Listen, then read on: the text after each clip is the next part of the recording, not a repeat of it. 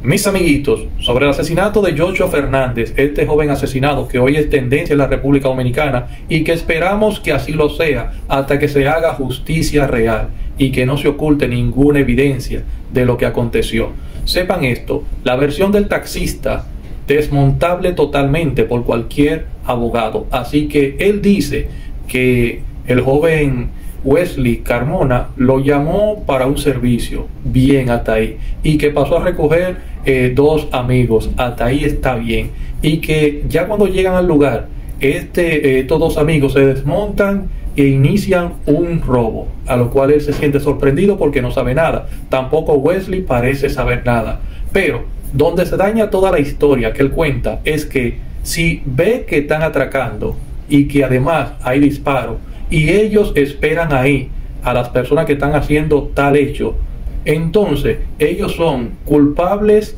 del hecho también o también partícipe. Porque, ¿cómo es que si en mi vehículo pasa esto, que dos individuos que yo monte, al que no lo conozca, que van con alguien que sí yo conozco, si ellos hacen esto, cometen un atraco o desafinan, como decimos, decimos popularmente, entonces yo lo esperaría. Yo sé que usted no lo esperaría, por lo cual cualquier abogado podría desmontar esta versión de los hechos que busca quitarle cierta culpa a estos involucrados y que después también recuerden que se mandó a lavar el vehículo para ocultar más las evidencias de quienes estuvieron ahí dentro con el taxista. Así que mejore la versión, como decimos, los dominicanos pedimos justicia y no es que estemos en contra de los imputados para nada, pero necesitamos que cada vez más personas se unan a este grito, ya que la República Dominicana ha sufrido bastante